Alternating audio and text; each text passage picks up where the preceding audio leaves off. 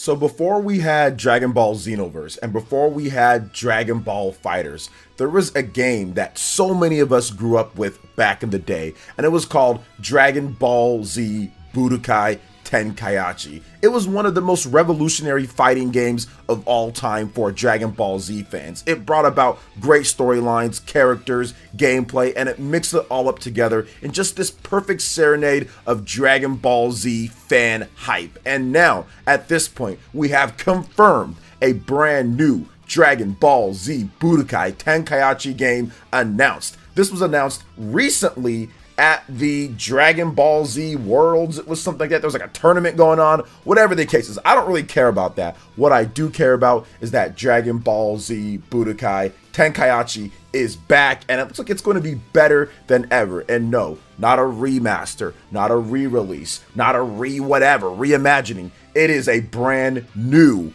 game officially, and this just kind of came out of nowhere. Nobody expected Dragon Ball Z Budokai to come back, considering that Dragon Ball Xenoverse and Dragon Ball Kakarot and Dragon Ball FighterZ, all of these games has essentially done better for the most part. Well, I don't know about Dragon Ball Z Kakarot, but pretty much everything else has done better when it comes to Xenoverse, all those DLC packs that we get over and over and over, Xenoverse 1, Xenoverse 2. Obviously, we know the pedigree that Dragon Ball FighterZ has had with Bandai Namco and the sales there. That game did so well, they actually invested in rollback netcode after launch, years after launch. That like never happens. You do not see that because it's incredibly difficult and also expensive to overhaul the type of online system that it does use. But they did that as well. But I think that Bandai Namco and the fans and everybody knows that it is time. It is time for a new Dragon Ball Z Budokai Tenkaichi. It is time to give the fans what they've been asking for for so many years. Now, I've been off the Dragon Ball Z train when it comes to video games. I've just been off of it. I have all the games. I have Xenoverse, I have Fighters, I have all those, but I'm telling you right now, maybe Budokai Tenkaichi wasn't as good as some of the new stuff out there, but it was the style, it was the substance, and it was how Budokai Tenkaichi did it with its gameplay that truly impressed gamers all the way back then in the early 2000s, mid 2000s. I remember playing Budokai Tenkaichi 3, I think for like seven or eight hours straight until I fell asleep back in like the mid 2000s. It was crazy to see the hype and the gameplay and what that did back then on those systems. I think I played on the PS2 quite a bit, so it was incredible. So to my delight, Dragon Ball Z Budokai Tenkaichi is finally coming back. They did not announce platforms, they did not announce release date, they didn't announce anything else when it comes to the official title. Nothing else was announced. They just said it's coming back, and obviously it's going to have a lot of the new characters from Dragon Ball Super, the new transformations and all of that. So I'm very excited to see where this goes. And one thing about Dragon Ball Z Budokai Tenkaichi, guys, is that it blurred the line or kind of blended it between the arena fighter that people are kind of getting tired of and with, and also Dragon Ball FighterZ. Now, yes, it's not quite up to that level competitively, but it kind of blended the line between that. So if you have the people that like the more arcadey arena style, also you want a little bit more strategy when it comes down to it, Budokai Tenkaichi kind of fit that bill. I thought that it was pretty good in that. Now, obviously, it wasn't up to the level of what Dragon Ball FighterZ was, but I just felt like there was some really good things in Budokai Tenkaichi, and I was sad to see it go, but it is back and it looks like it might be better than ever. I'm hoping that we get a release of later in the year or early next year.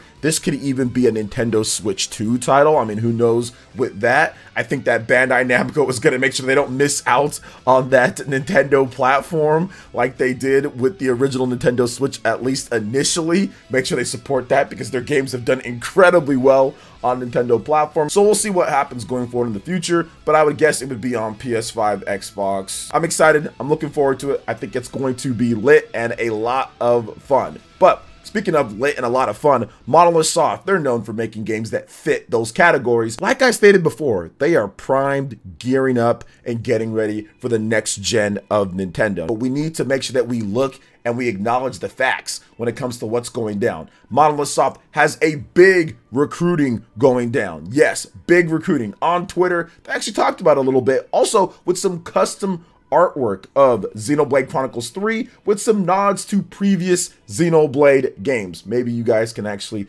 point it out here in the picture. So on Twitter, they said it recruitment information Recruitment guidelines for new graduates, 2024 graduates, have been released. We look forward to receiving your application. So they are hiring, they are locking in, they are gearing up for that next big game that they've been working on. And a lot of you guys have been wondering what it's going to be. I've made countless videos on what Monolith Soft is going to do next do we get that Xenoblade Chronicles X Nintendo Switch or Nintendo Switch 2 port or both? Do we get a brand new IP? Is it a combination of the two? And I think that's where they're going with. I do think that Monolith Soft is trying to gear up to bring a modern version of Xenoblade Chronicles X to the Nintendo Switch platform or to the Nintendo Switch 2. And I also think they are gearing up for that new fantasy IP they've been working on for quite some time. I think that they might be in the home stretch of those and probably waiting for the announcement of the next system. It might already be pretty much done. I mean, we saw what happened with Xenoblade Chronicles 3. That game was essentially done to the point to where they moved it up a number of months to swap it with Splatoon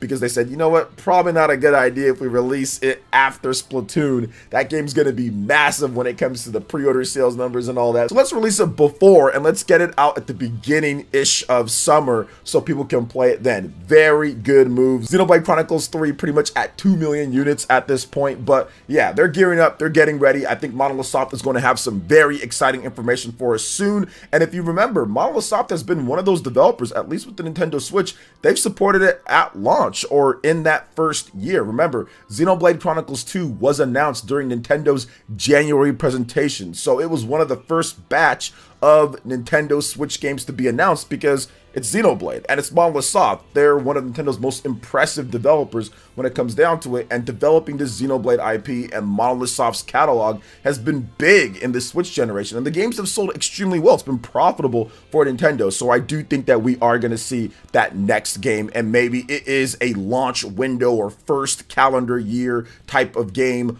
for the Nintendo Switch 2. But we're going to have to wait and see on that. But let's talk about what's going on right now with Nintendo platforms, with the Nintendo Switch. Yes, one of the greatest games of all time. Game Boy Advance, Nintendo Switch Online adds Metroid Fusion. I wanted to talk about this because I think that it's awesome that we're finally going to get some really good GBA games. Like GBA was something that people have wanted on the platform and now it's starting to kind of really kind of come through at this point, which is just great to see. So Game Boy Advance, Nintendo Switch Online, Metroid March 8th. Now, here's a little bit more details. Now, a lot of you guys might have not played this game, but this game almost feels like a Metroid Dread Light in some type of ways, especially with what happens in the game. With its arrival, you'll be able to experience Samus Aran's full journey across the 2D Metroid series on Nintendo Switch, beginning with the original Metroid game on the NES, Nintendo Switch Online library through her most recent mission on Nintendo Switch in Metroid Dread. In Metroid Fusion, interstellar bounty hunter Samus Aran is attacked by X Parasite. While exploring the mysterious planet SR388, this organism is not only deadly, but can mimic the abilities of any creature it infects, including Samus herself. Saved from the brink thanks to the infusion of Metroid DNA, the X parasite's only natural predator, she soon discovers that the parasite has spread to the research station orbiting SR388. Weakened and out of options, Samus must do whatever it takes to destroy the X threat before it's too late. Embark on this critical mission alongside Samus and experience the classic Metroid gameplay while exploring a massive research station teeming with hostile lifeforms, collect power-ups including favorites like Morph Ball and the Screw Attack, uncover a multitude of secrets, and experience the adventure that links Super Metroid to Metroid Dread, which a lot of you guys played Metroid Dread, and if you haven't played this one, you gotta have that link. It really is important. But be wary, because this dreadful SAX an unstoppable X-Parasite mimicking Samus is on the loose, and it's coming for you. Oh, that's where like the dread part comes in, right? With the EMMIs. Now, once Metroid Fusion arrives, if you want to enjoy the main Metroid series in order, you can play Metroid on the NES, Nintendo Switch Online Library, Metroid 2, Return to Samus on the Game Boy, Nintendo Switch Online Library, Super Metroid on the Super NES, Nintendo Switch Online Library, Metroid Fusion, and then conclude with the latest installment on the Nintendo Switch Metroid Dread. Plus, if you're Intemperate Bounty Hunter, you can branch out and play the Metroid Prime remastered game, which is available now. So we know exactly what Nintendo's doing. Nintendo is trying their hardest to get people ready for Metroid Prime 4. It is undeniable at this point because that was all press release. They put in all that stuff there. They have the website that we talked about a bit back. Nintendo wants to get you ready, get you familiar, and get more people into the Metroid franchise. And it is working because Metroid Prime Remastered is still the number one game sold on the Nintendo Switch eShop I think also mainly because people can't find as many copies out there when it comes to physical, but those are coming. They're getting restocked, so don't worry about that, guys. But yes, this is gearing up, in my opinion, for a Metroid Prime 4 release this year. But we're going to have to wait and see on that. But you know what else is coming out this year? Mario Kart 8 Deluxe Booster Course Pass Wave 4. Not even just this year, this week actually. So Nintendo released the Mario Kart 8 Deluxe Booster Course Pack Wave 4 on March 9th, the company has announced. Now, Wave 4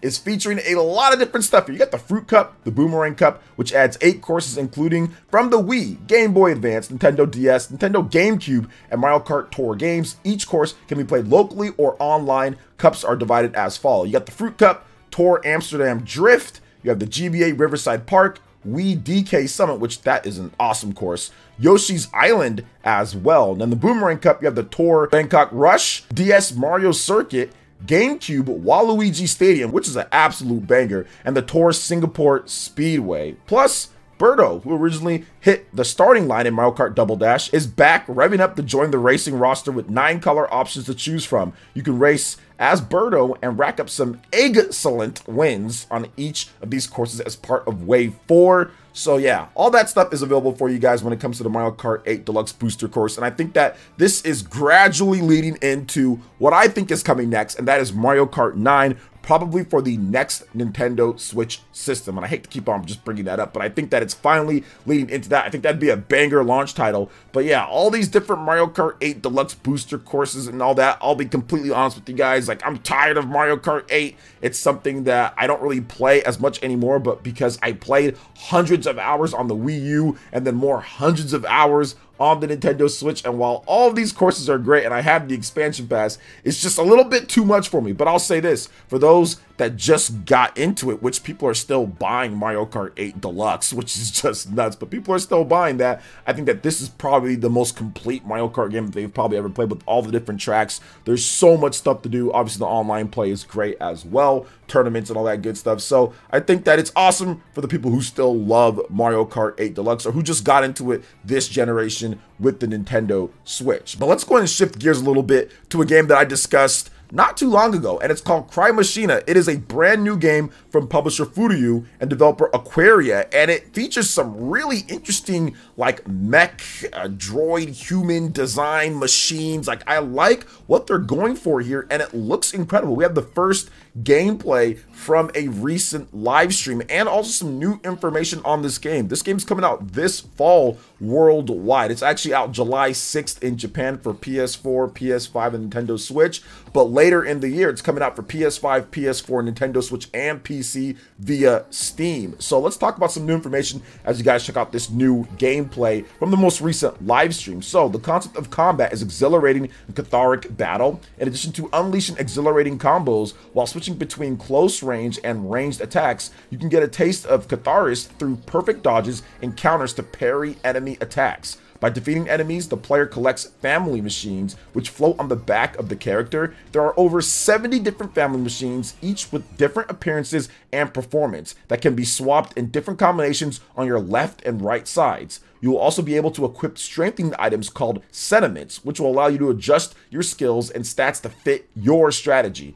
Now, some humans retain human mental data called personality data, and by analyzing that data, you can obtain special items useful in combat, as well as story-related scenarios about the data. So the interesting thing about this game is that humanity is completely extinct eradicated, gone. And essentially, there's been a program put together that finds the essence or the souls of three or so different humans and infuses that into these machines in order to regain and bring back humanity. So it's a very interesting concept. I think that the gameplay looks awesome. Probably gonna be pretty fun to play on PS5. It looks like they're going for that double A RPG type of feel, but I bet it'll be pretty good to play on Switch 2 Portable if you want to play it that way. So I'm actually looking forward to this game. Really interesting kind of like Devil May Cry, Bayonetta style, you know, action RPG. So I think that it's going to be solid when it does launch later this year. But what do you guys think about all this different news here? If you want to check out my most recent RPG news on the channel where we round up all the best RPG news and more, check out